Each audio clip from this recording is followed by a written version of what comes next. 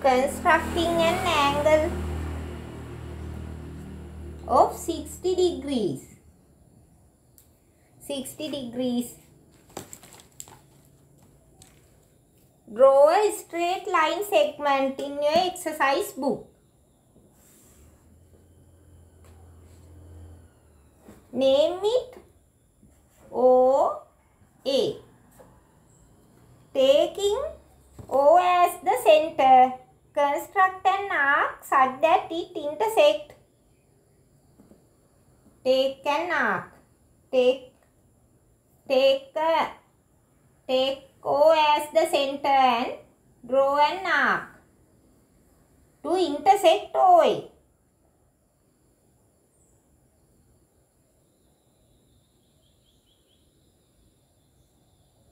without changing the length of the radius and take this point as the center and draw another arc using the pair of compass such that it intersects the first arc.